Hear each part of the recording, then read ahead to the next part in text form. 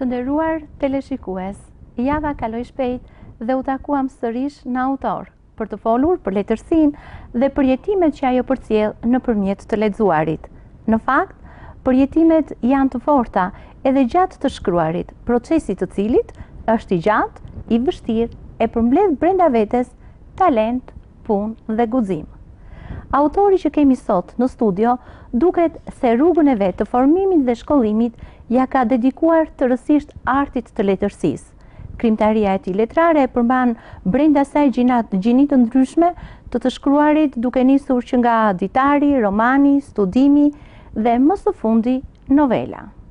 Përmendim, gjurmë shprese, Mborja në vite, drejt një rruge plot diell, Qershia e dashurisë së madhe e ndërkohë vazhdon të shkruajë e të shkruajë e të punojë me merakun për t'ju përcjellë lexuesve letërsi të mirë.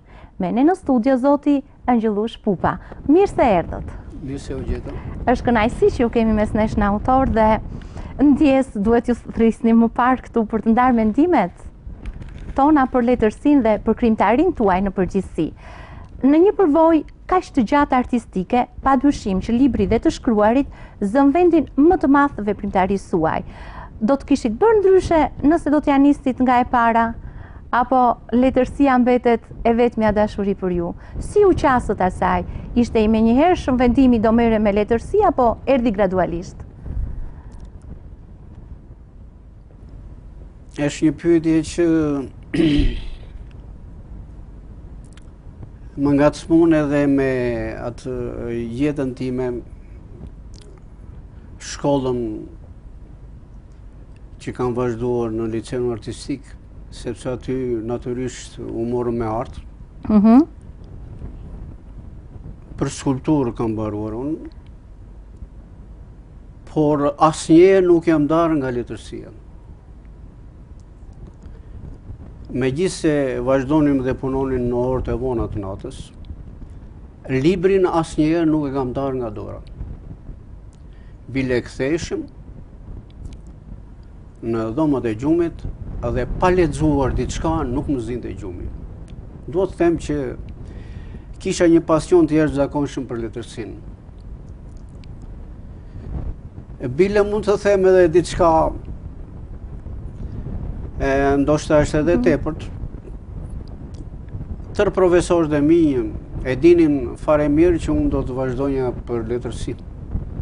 Mhm. Dhe mbasi u diplomuam,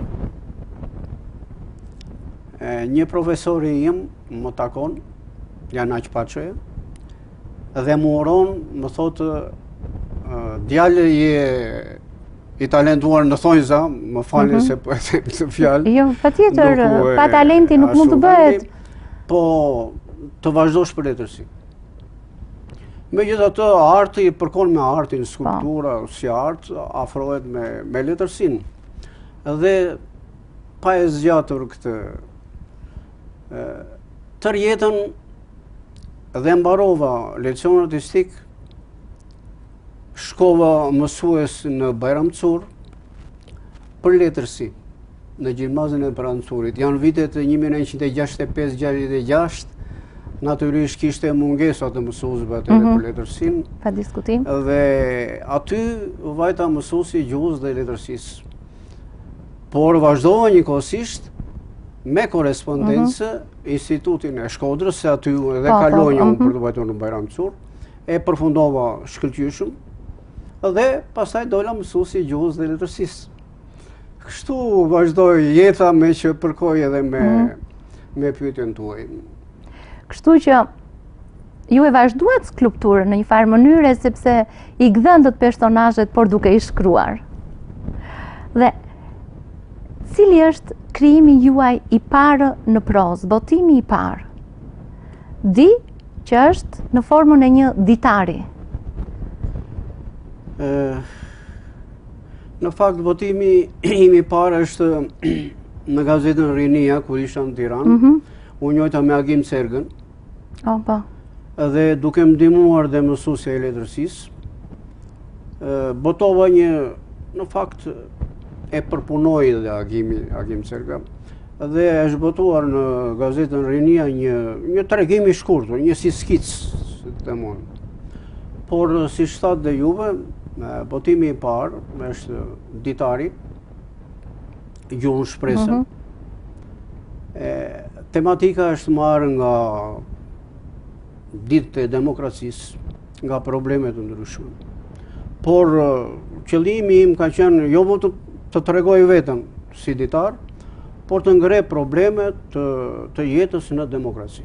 Të së përditshmes. Të jetës së përditshme. Meqë ra fjala, mbani ditar?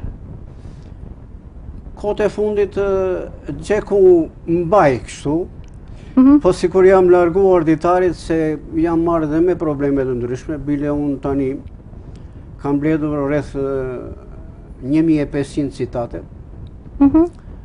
të ndryshme, të fushave të ndryshme, të autorëve të ndryshëm, sidomos të huaj, por edhe vendas pa dyshim.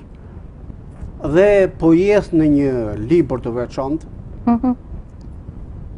Shikojmë duke patur parasysh ato të gjitha anët shkencore të një po fjalori se të mund, mhm. që të... Të një fjalori me fjalë të mençura. Me mhm, thënie të mençura. Me aforizma, se të po. mos. E që ne natyrisht do të na vlejnë, edhe që i kemi të domozdoshme. Është e vështirë të gjenden tematikat e duhura në realitetin e sotëm shqiptar, apo ky realitet na ofron pa fund tematika për të zgjedhur. E vërteta kjo është që Jo se e ke vështirë për të zgjedhur tematikat se ajo është e larmishme. Mhm. Por në ditët e sotshme ka probleme që vërtet ia vlen të të shkruash. Ka probleme ekonomike, shoqërore, familjare.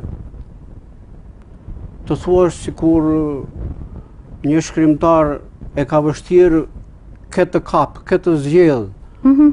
por edhe atë që që kap, që do të shkruajë, që i dhimbset dhe vetë, do punë, do një punë serioze që të, të nxjerrë atë që kërkon të, të japë. Po e vërteta jeta në shoqërinë tonë, në demokracinë e brishtë të themi, ka plot probleme që autori ka mundësi të shkruajë. E që po na mbetet... Të japë të vërtetën. E që po na mbetet e brishtë. Është një frikë tek autori kur shkruan që mos përsërit të tjerë qoftë në zgjedhjen e tematikës, qoftë në trajtimin e saj më saktë. Unë do ta hidhja poshtë të mhm. ka, ka domethënë si padashur mundet të mhm. tematika se është afërsisht e njëllojtë, kur është tematika po. e njëllojtë dhe përkojnë gjërat, po them që në rast se autori punon, Unë po lexoja diçka nga Balzaku tash dhe thoshte që për të dhënë prototipin, ëh, mhm. se nuk... letërsia, arti nuk është të kopjoj po. jetën, por të gjej atë tipikën. Dhe pikërisht këtu që them që në rast se autori punon, ëh, mhm. studion, jep merr nga nga nga disa njerëz Për të dhënë personazhin apo tipin, them që është duhet të përsërit. Mhm. Të përsërit. Ose bëhet edhe një mund të ndikohesh. Mhm. Mund të ndikohesh, mund të po. frymëzohesh nga një shkrimtar tjetër, por jo të kopjosh, si të thuash. Mhm. Është ndryshe. Pa dyshim. Dhe vijmë tek qershia e dashurisë së madhe. Kur u vura në kontakt me novelën tuaj diku nga tetori, titulli me qershi më kujtoi frazën e një komediani të njohur kur thoshte që më pëlqejnë qershitë e zeza dhe gratë e bardha. Mendova se do të ishte ë uh, një novelë e tipit romantik. Por, kur e lexova, pashë një botë krejt tjetër. Përse e zgjodhët qershinë, e jo një pemë tjetër bie fjala, molla, dardha? Bukur, një pyetje që më nxit për diçka. Kur skicova atë, mhm. qershinë, jo qershinë, domethënë, po, novelën, novelën, qershia e dashurisë së madhe, Ne midis nesh qershia do ta quajmë.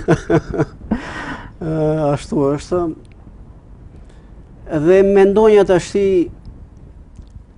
se dy të dashuruarit natyrisht takoheshin mm -hmm. mbrëmjeve dhe natën, se kishin frikë se thashe, po, themet i dënonin e mhm. tjera, siç ishte në atë kohë. E, siç jemi ne njerëz që e dënojmë dashurinë. Dhe po mendonja, ku do t'i vendosnja këta dashnorë? Mhm. Shikonja, unë kam edhe një bahçen time, mhm. edhe e vinja re te qershia që ishte ndryshe nga pemët e tjera. Jo vetëm shumë në kokërr, mhm. që është vërtet e bukur, e mbrekullushme, në ngjyrë, në, po mhm. edhe në, në të ngrënë, po, në shije. Po, në shije, po. Por në trupin e saj, kishte një trup,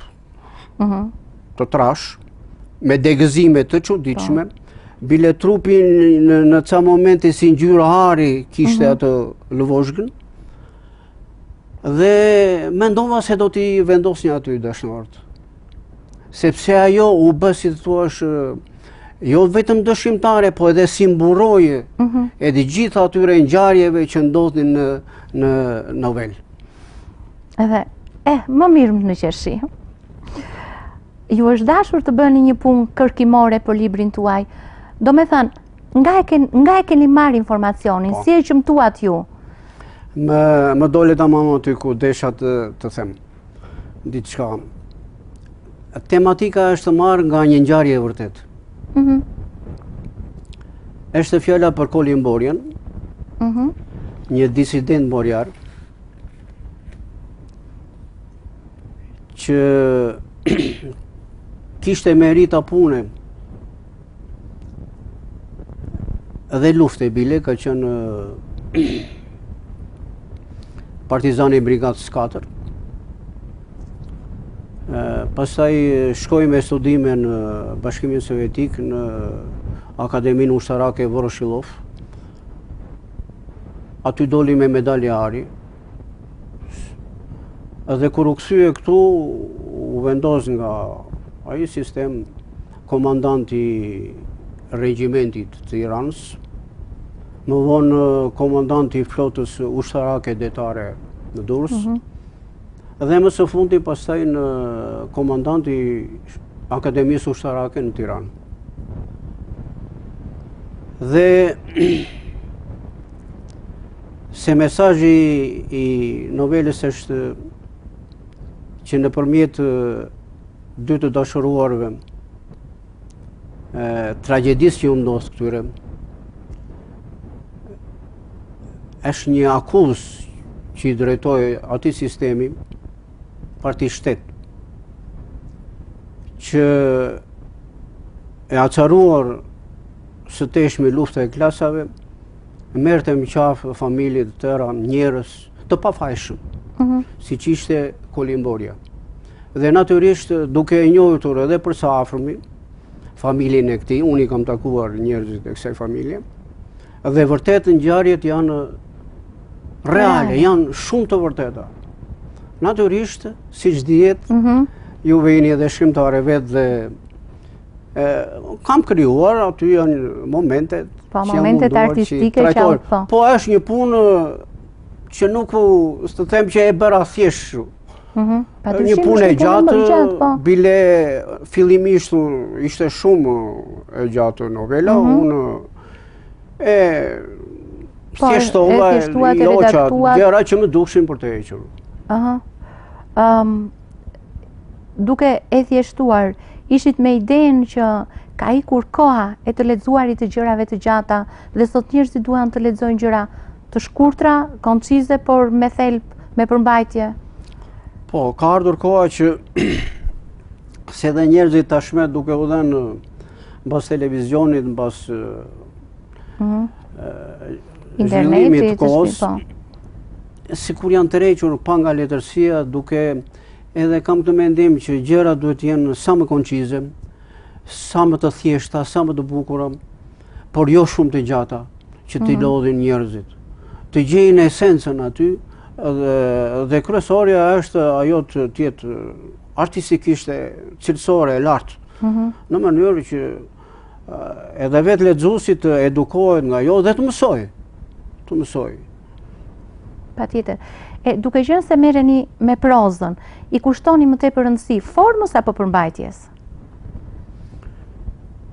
E, fillimisht unë kur kam shkruar më, më tërhiqte forma. Mhm. Të bëj një gjë të bukur artistikisht. Mhm. Zgjidhja dhe fjalët dhe por të dyja duhet të jenë në harmoni me njëra tjetrën, edhe forma edhe përmbajtja. Edhe përmbajtja. Pa pa përmbajtje nuk ka formë, po as formë pa përmbajtje. Domethënë janë të lidhura me njëra tjetrën. Ashtu është. Formë pa përmbajtje s'ka kurrë. Po përmbajtje pa formë edhe gjejmë diku. Ë kur shkruanit novelën, cili ishte meraku më i madh për ju? Ju, çfarë meraku kishit, kur se si ajo jo do të pritej, po se si do të ballafaqohej me realitetin. Ishte një realitet që kërkonte, që do të përkonte me një realitet tjetër.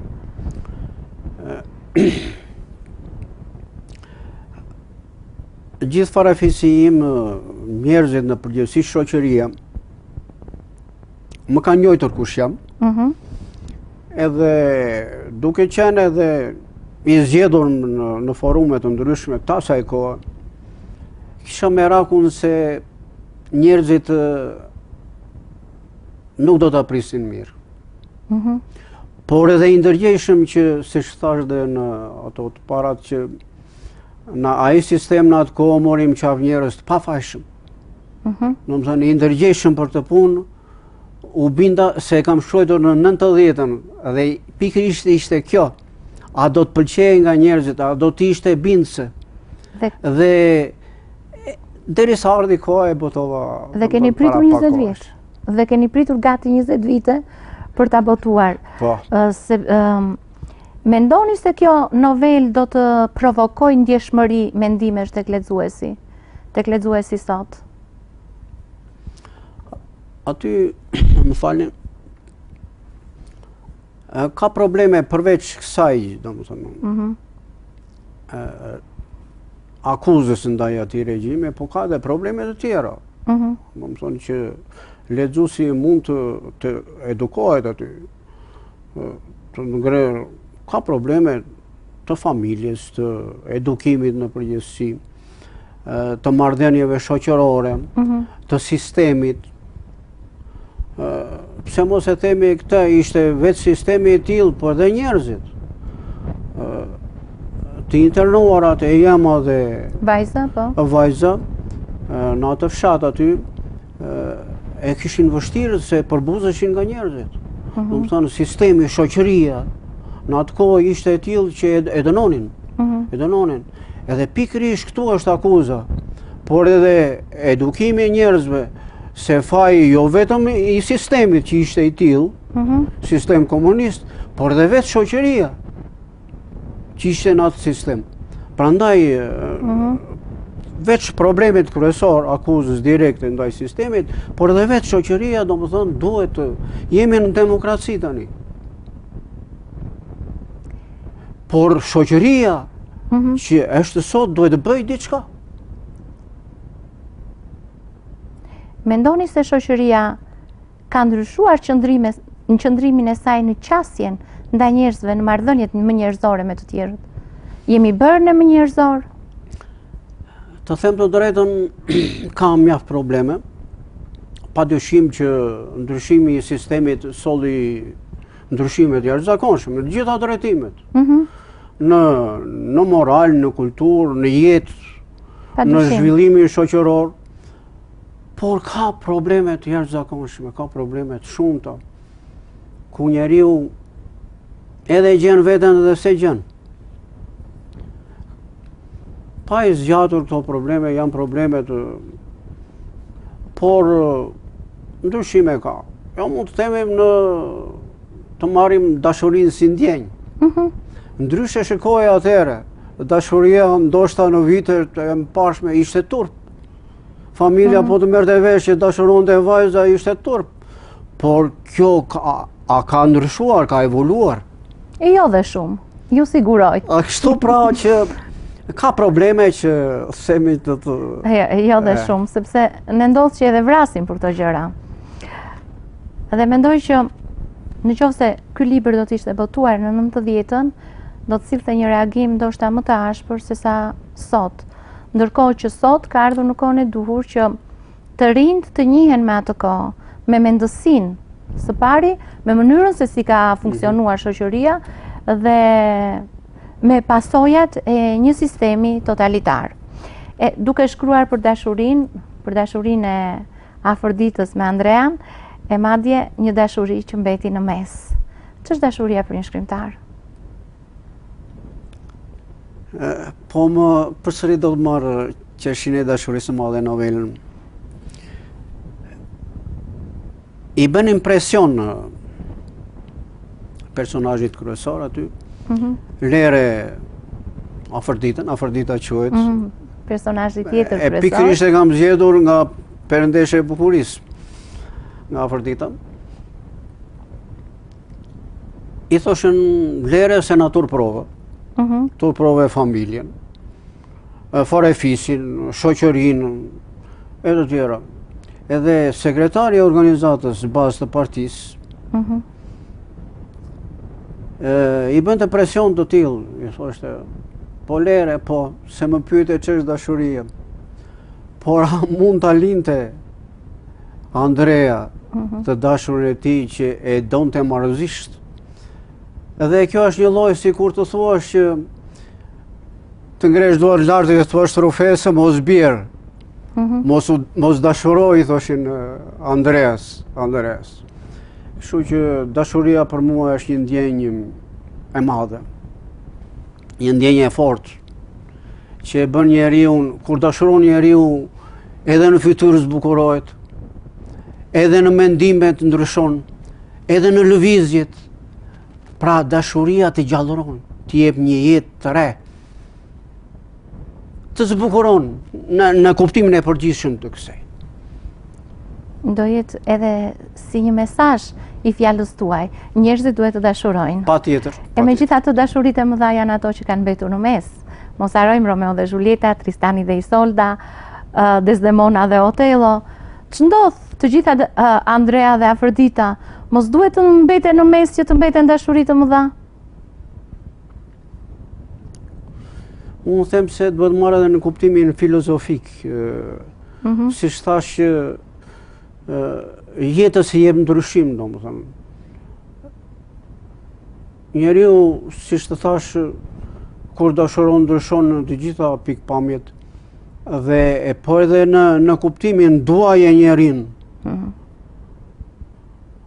të duash njerinë është diçka madhështore. është e bukur, siç është vetë dashuria.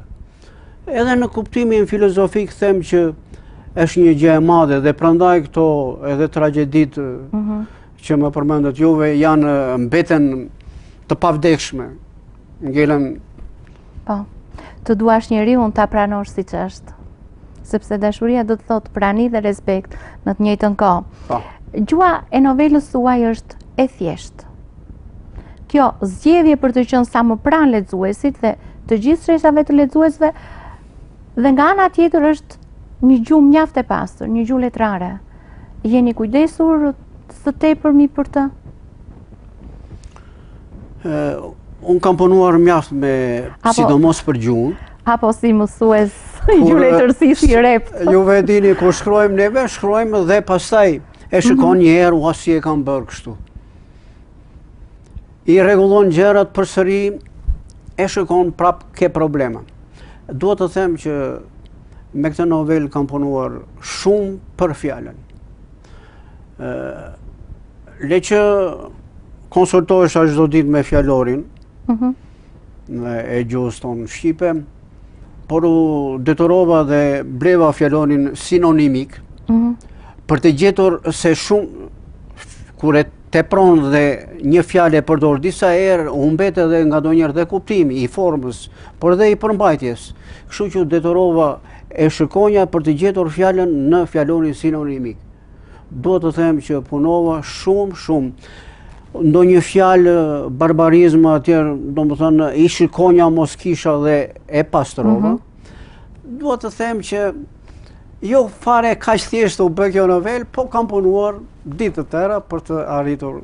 Mhm. Pa thënë që është bërë një... Pa, për një kohë të gjatë. Gjatë procesit të të shkruarit, Nuk është se direkt vendosni që do të jetë kështu dhe nuk i riktheheni më. I riktheheni?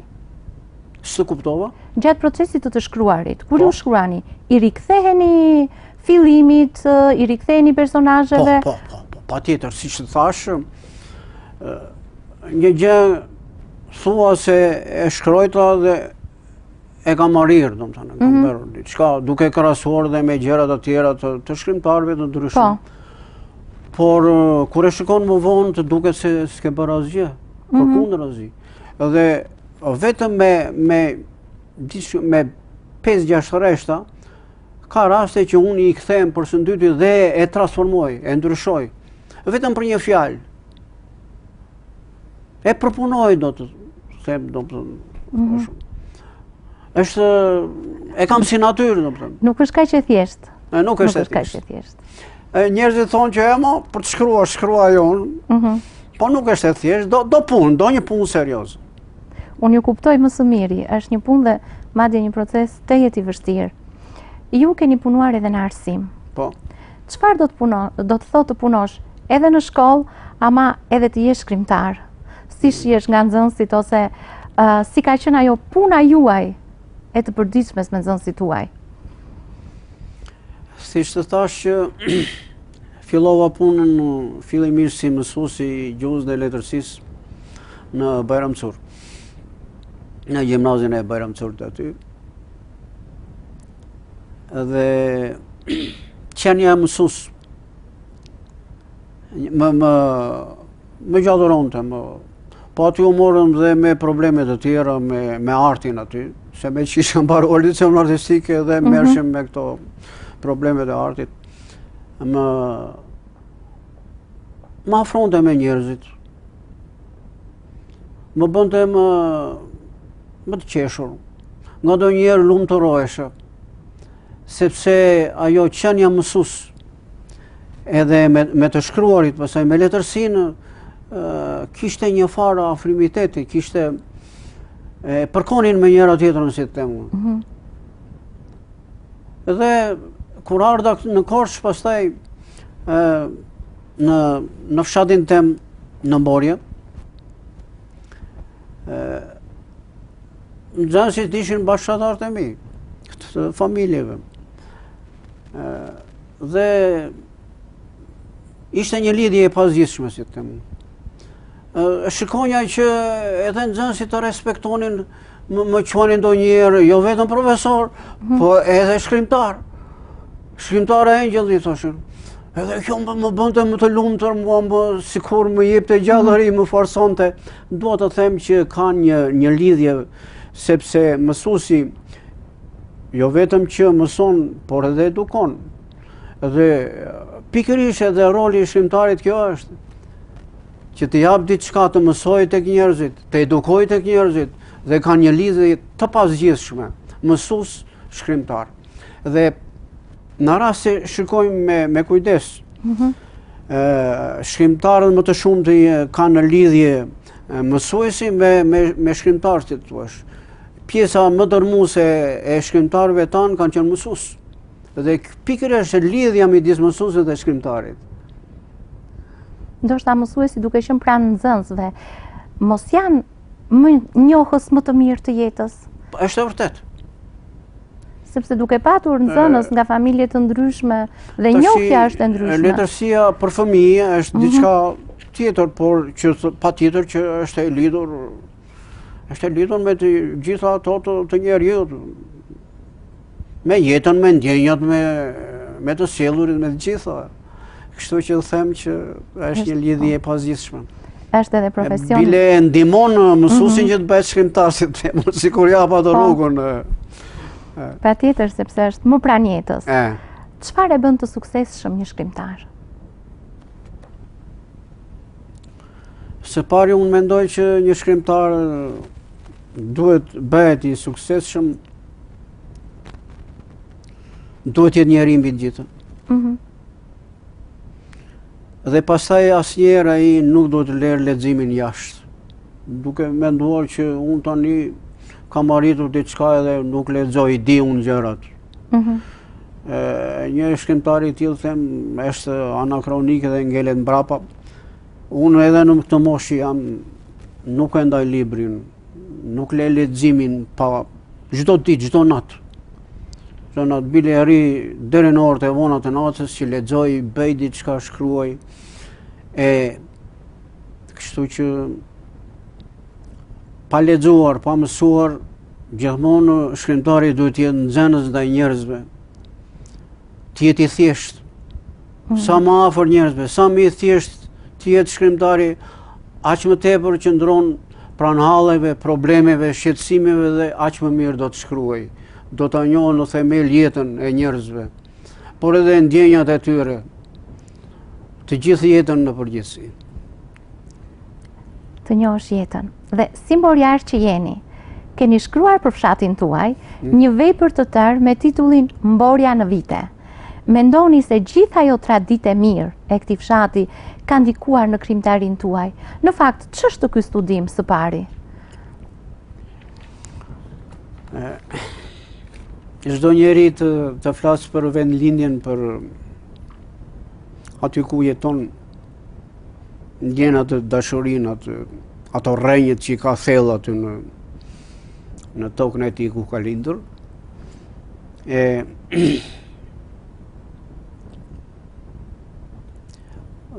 siç thatë dhe juve, Mborja ndër vite është një studim.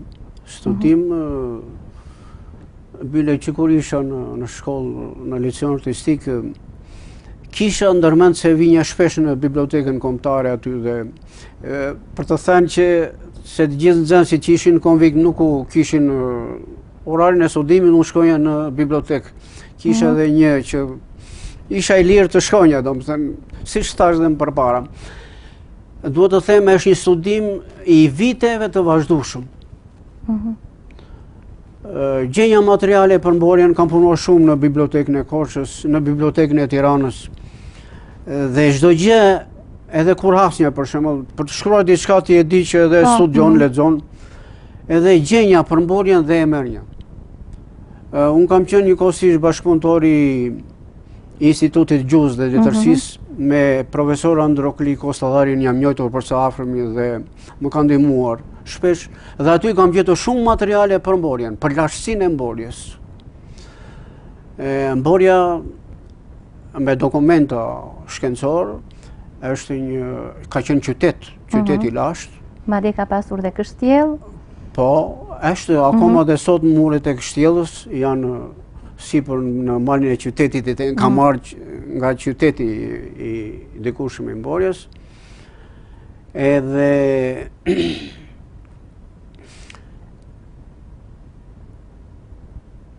kisha e Mborjes. Mhm. Në fakt, thuhet aty që bile edhe shkruar sapo futesh në kishë, viteve 1300 e ca. Në fakt nuk është kështu. Studimet e kohëve të fundit kanë treguar që kisha e Mborjes është shumë e lashtë. Domethënë, pas Krishtit, e viteve 600, mhm. dhe e ka ngritur, themelet e para i ka hedhur Shën Klementi. Shën Klementi kishte përveç hapësirës të, të jugut të Korçës, Greqinë dhe një pjesë të nga Maqedonia, dhe ai ngriti sepse mori dhe familjen këtu, mhm. në në Mborje dhe kanë hedhur themelet e para. Dhe kisha e Mborjes për lashtësinë që ka e ndër më të vjetrat, jo vetëm në, në Shqipëri, por vjen e dyta mbas një që është në Rumani. Një jetë në Në tërë studiuesit, bile kanë shkruar dhe, dhe autorë të, të vëndeve të ndryshme, për kishën e Mborjes. Duhet të them që lashtësia e Mborjes të gjitha këto, por edhe për traditat, për zakonet, Mborja ka nxjerrë njerëz të mëdhenj, mhm. në kuptimin e mirë të fjalës, që kanë lënë përshtypje të mëdha në në në jetën jo vetëm të të, të Shqipërisë, por edhe në në botën jashtë. Për shembull ky muzeu mm -hmm. po, oriental. Bratko, muzeu mm -hmm. Bratko. ë uh, është ai që po, George ka bërë nga Mborja. Dhuratën mm -hmm. e, e Bratkos këtu është mborjar. Është mborjar. Dua të them që Mborja ka nxjerrë njerëz të, të mëdhenj, njerëz të, të mëdhenj në kuptimin e, edhe të mirë të fjalës, siç thamë që mm -hmm. të thjeshtë njerëz për të qenë të thjeshtë. Me botëkuptim të madh të mm -hmm. të kësaj natyre, domethënë se dhe natyrisht është edhe një fshat i traditës Shqipërisë, që i ruan traditat dhe zakonet e të shkuarës. Si mund të udhëtojë njeriu drejt një rruge plot diell, dhe i referohem këtu romanit tuaj, romani drejt një rruge me diell. Po romani, tematika është e ditëve të sotshme, domethënë, e demokracisë të brishtë, siç thamë përpara, Dhe aty unë përveç personazheve aty ai personazhi kryesor punoi për demokracinë për romanin flasim. Mm -hmm. Por pësoi një zhgënjim. Sepse e shikonte që demokracia nuk po ecte ashtu si duhej. Në fakt kishte probleme dhe Tërë mesazhi që jepet aty është, prandaj edhe ajo drejt një rruge plot diell, nuk mhm. është pa kuptim. Ndryshohej sistemi i kaluar në një rrugë të re, plot diell, por në vetvete pa që s'kishte edhe shumë diell. Po do të thosha që ishim fare në hije. Edhe kështu që ka probleme të ndryshme aty të të realitetit të sotëm. Në fakt, sot të bësh letërsi është e vështirë. Nga, sepse botohet shumë dhe nga të gjitha këto botime të duket sikur letërsia është industri dhe jo art.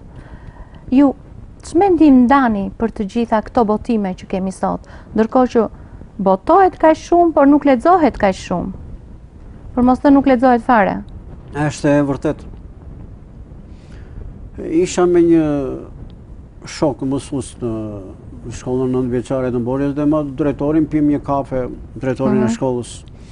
Edhe këtë problem që nxënësit nuk lexojnë, po nuk është fjala vetëm për nxënësit, por edhe rinia në përgjithësi. Kohët e fundit duke rënë pas tyre zhvillimeve të reja, pas televizionit, pas atyre celularëve që e mbajnë mhm. çdo minutë në dorë. ë Këtë trajtonim aty që nuk lexojnë nxënësit. Nuk u afrohet prandaj them që nuk e di pse ndodh kjo punë.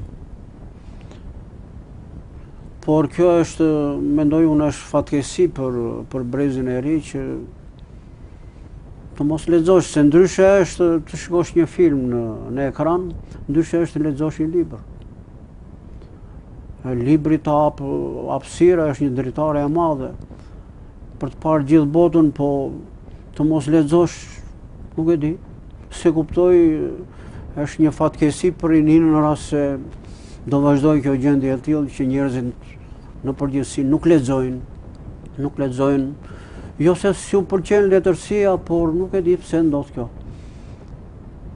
E po, atë që të ofron filmi në fakt është diçka që ti syrin, veshin, të gjitha shqisat, i organizon dhe sheh. Ndërsa atë që të ofron libri, të gjitha këto ti duhet t'i imagjinosh vetë. Po.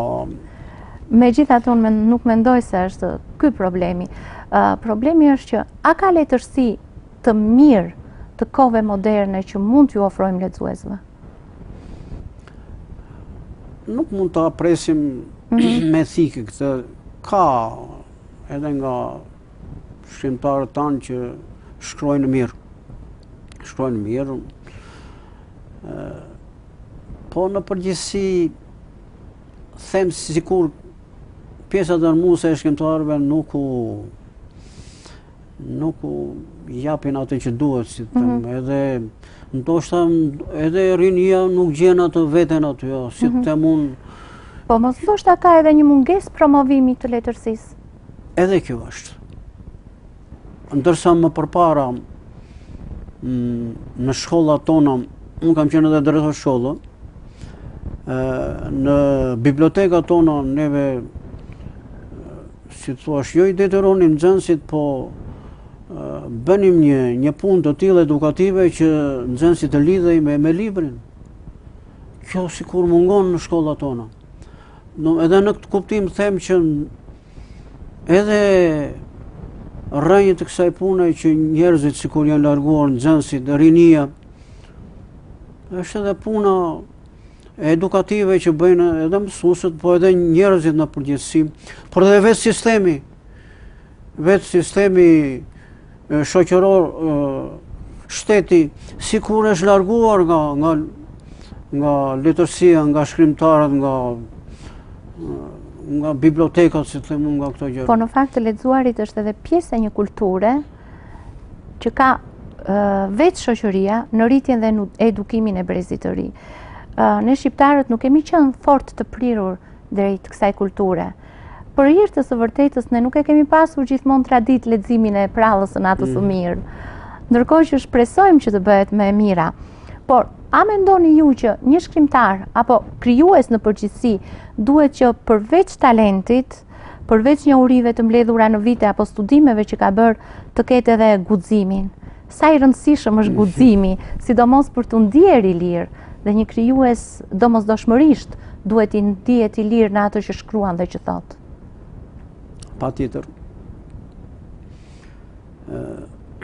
Shkrimtari të shkruash do të thotë të mos kesh frikë njëherë. Mhm. Të jesh i lirë, atë që mendon ta shpresh ashtu si e ndjen. Dhe them që një shkrimtar që nuk e ka guximin për të shkruar, që ka frikë nga e shkruara, shumë shkrimtarë vetëm se kanë shkruar janë dënuar. Ëh. Mhm. Dhe unë vërtet i bëj disidentë ata që janë dënuar vetëm se kanë shkruar diçka Kanë thënë të vërtetën. Dhe një shkrimtar pa pa shkruar të vërtetën, unë them se s'është shkrimtar, se përse shkruan.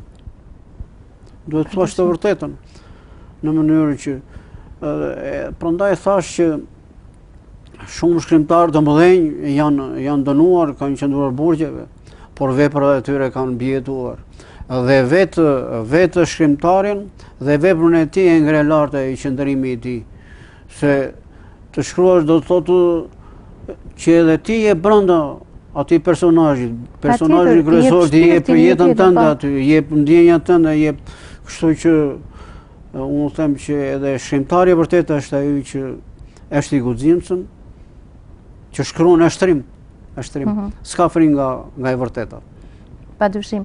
Dhe unë mendoj që Kjo është kauza më e madhe e njerëzve që shkruajnë, të thuash të ngresh të vërtetën në art, ta thuash ashtu siç është. Troç mor tek e fundit.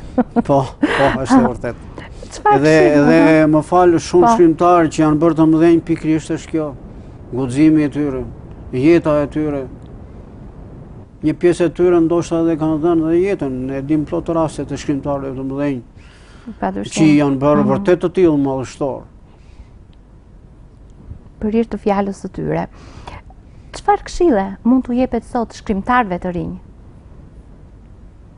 E duam faktikisht një këshillë. Këshillë? Po, patjetër. E nëse meqë jam shumë si plak, Apo, nuk e pranoj, njeri është, njeri është, i ri gjithmonë kur është në zemër i ri. Këshillat janë të nevojshme po ngandonjëherë secili ka mendim e vet dhe unë së pari mendoj që këta shkrimtarët e rinj duhet të studiojnë mhm. duhet të studiojnë artin e të shkruarit njëherë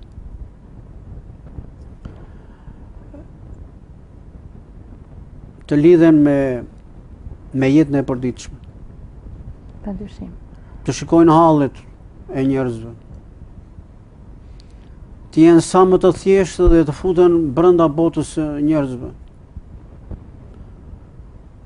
Të jenë sa më të thjeshtë. Thjeshtësia do t'i bëjë më pranë njerëzve, për të kuptuar sa më mirë jetën e tyre, dhe për të dhënë në veprat e tyre, apo në shkrimet e tyre, atë çka do populli. Kështu që mendoj që të, të mësojnë sa më tepër, mhm. të jenë pranë njerëzve, gjithmonë të jenë nxënës të librit, të lexojnë dhe të lexojnë sa më tepër, të mësojnë artin e të shkruarit. Pa mësuar artin e të shkruarit, nuk do kenë sukses. Kjo është. Dhe mbi të gjitha të jenë sa më thjeshtë. Kjo është më se, kjo është më sa më afër njerëzve. Kjo është më se e vërtetë. Domethënë më shumë duhet të lexosh se sa të shkruash. Ndërkohë që sot kemi edhe shkrimtarë që shkruajnë më shumë se sa lexojnë. Si është një ditë e zakonshme juaja?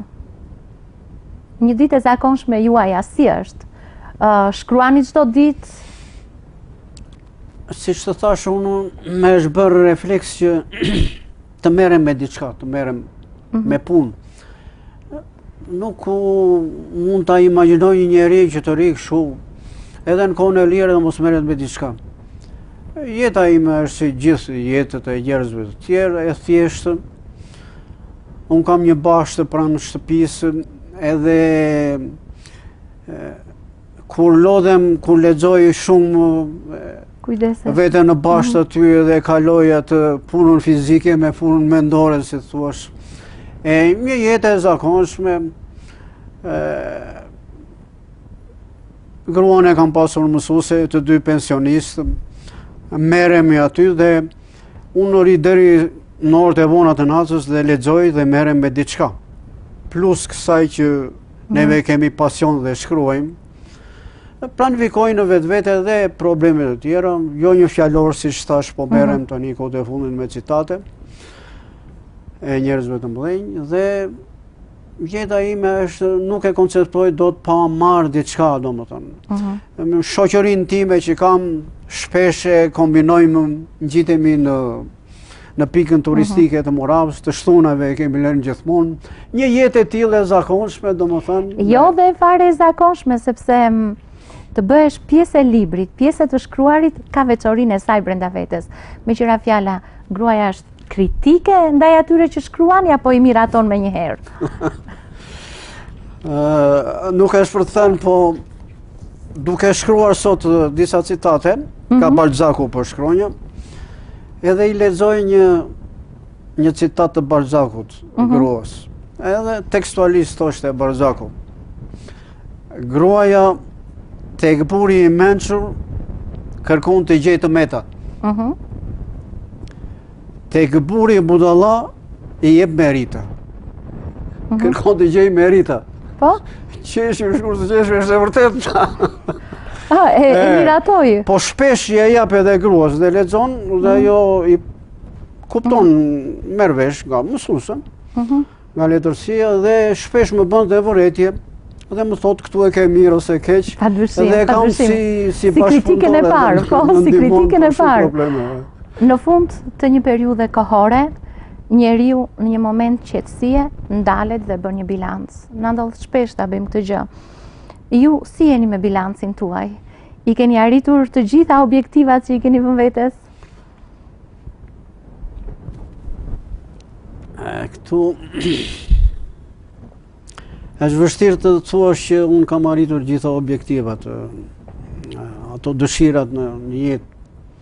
Megjithatë pjesërisht them se diçka kam bërë, mhm. kam bërë, Edhe pyes veten ndonjëherë se shikoj dhe njerëzit që më njohin sikur më respektojnë, më më afrojnë më ashtu, them se diçka kam lënë gjurmë në këta njerëz. Po ngandonjëherë them, more këta thonë që njeriu ka frikë. Nga, nga kush të ketë frikë njeriu gjëmë? Unë armiq nuk kam, gjithmonë i kam ndihmuar, i kam kështu, i mhm. kam... Të mira kam bërë dhe keq s'kam bërë. Pse të ketë frikë nga vdekja këtë? Fundi edhe vdekja le të të marrë mm. se do shkojmë po, aty si gjithë. Fundi pjesë e jona është dhe vdekja. Por them se njeriu të gjitha objektivat është vështirë t'i realizojë, po pjesën dërrmuese të këtyre gjërave themi se e thoni me them se mund të e thoni me modesti eh, eh. sepse keni arritur dhe keni arritur shumë, sepse të fitosh respektin e njerëzve për mua është shumë. Planet tuaja, lexova tek qershia e dashurisë së madhe, që po që keni për botim tregime. Nuk flas dot e kam gojën plot. Po është libri më i afërt? Është një libër me tregime. Ëh. Mhm. Tematika e tregimeve është e ndryshme. Bile them ja 2-3 tregime janë të arrira, janë të ngritura nga ana artistike. Tematika është jeta e mhm. këtyre ditëve të demokracisë, problemet e ndryshme, probleme shoqërore, edukative, janë rreth 12-13 tregime të shkurtra, mhm. të shkurtra, ato dy tregime që them unë në veten time them që janë të arrira, janë pak më të gjata, dhe Për një kohë të afërt them që mund ta botojmë, varet nga... nga... pa dyshim ka shumë faktorë, pa diskutim. Pastaj kemi aforizmat, po. pastaj kemi dhe plane të tjera, po, po s'po i tregojmë të gjitha. Po. Një mesazh të fundit, një mesazh për shikuesit tanë,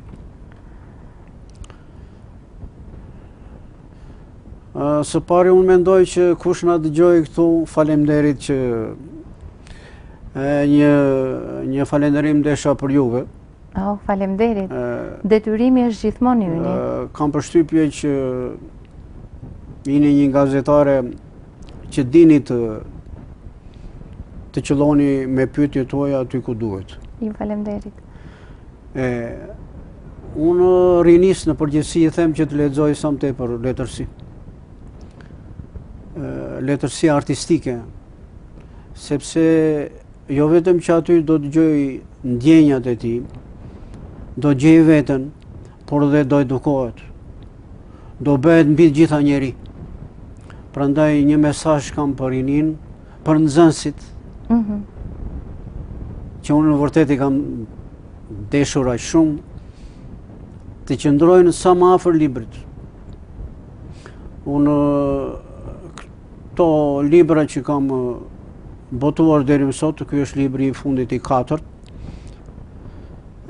i kam shpënë bibliotekës së Mborjes një pjesë të librave të mia. Mhm. Prandaj them që mesazhi im për, për nxënësit dhe rininë është që të qëndrojnë sa më pranë librit, librit artistik në përgjithësi.